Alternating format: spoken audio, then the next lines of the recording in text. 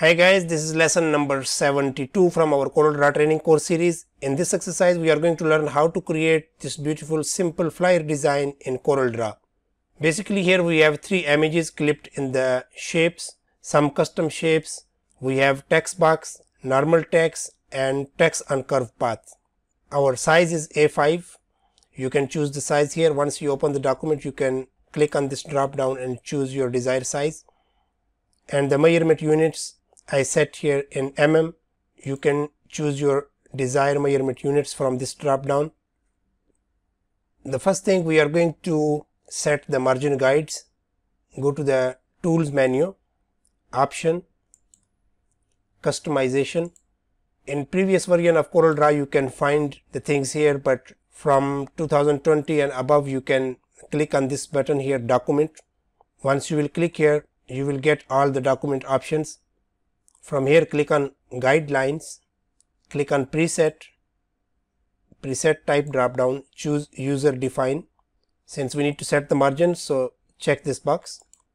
I am going to set the margin 3 mm. I will type 3 in the top and left. Make sure the mirror margin is checked. So the same margin it will reflect to the bottom and right. So click OK. You can see we have here margin guides.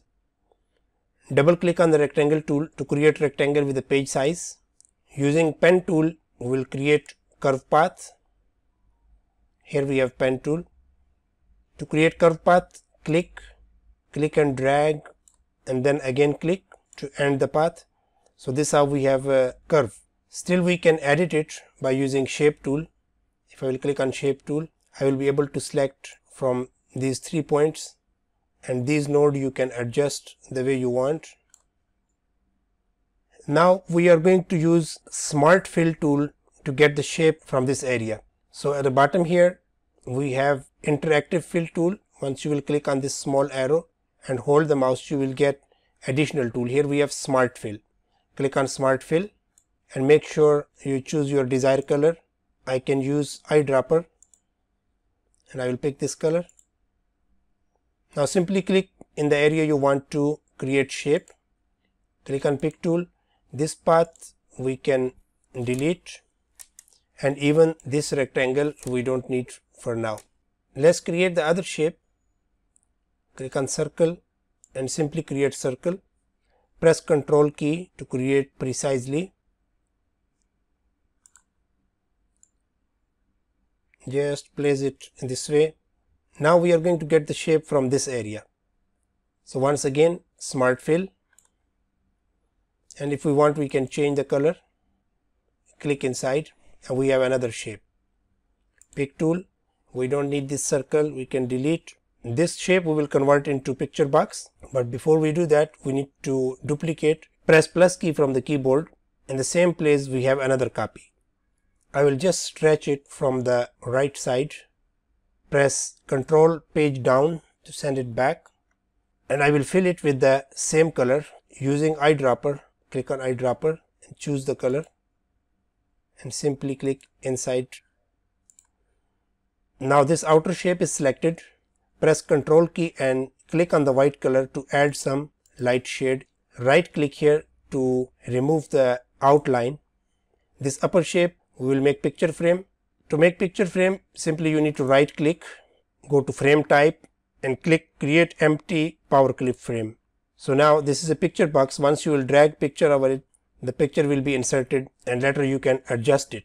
Here we have another shade that is uh, orange color. We'll select the shape, press plus key and simply stretch it down. The duplicated object shape it is in the front we'll press control page down. It goes back. Make some further adjustment with the shape tool.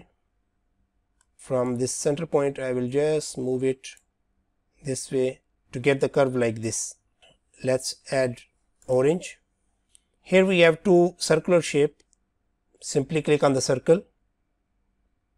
And we have a outline size that we can set here. Let's try 4 that is enough right click on the white to change the color and we are going to apply shadow.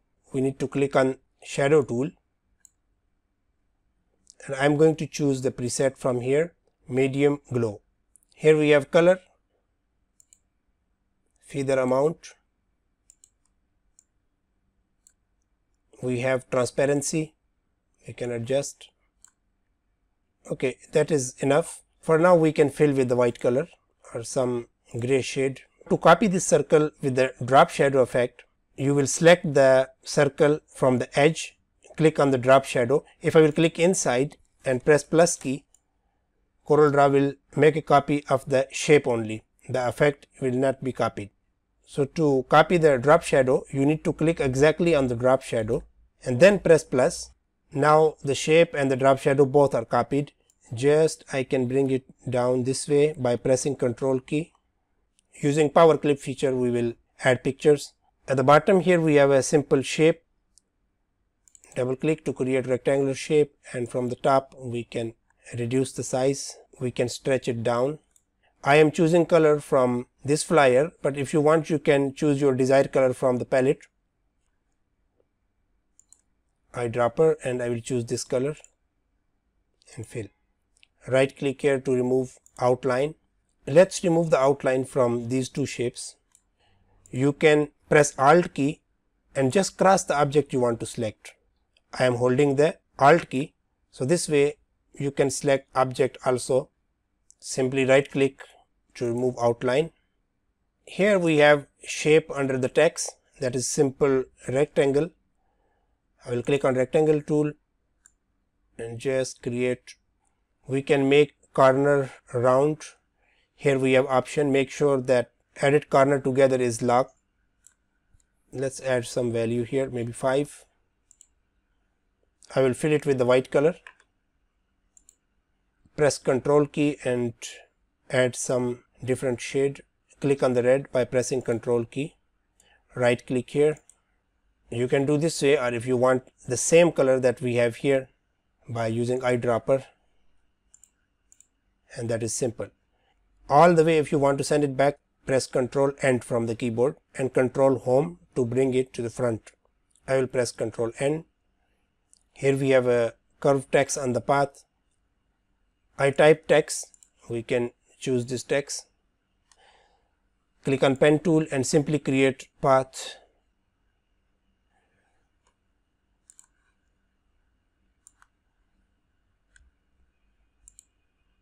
This text we need to bring it to the path. So while the text is selected, go to the text and here we have option fit text to path. Click on fit text to path. You can just go around the path wherever you want you can set the text I think it is okay here once you will click the text will be with the path if I will move this from the center point you can see that the text will be displaced this way undo to bring it to your desired location you need to click on the path and hold the text from this path. And you can bring it wherever you want. Control home bring it to the front. We can fill with white color. And the problem is uh, path we have path here. We can right click here to just avoid the path.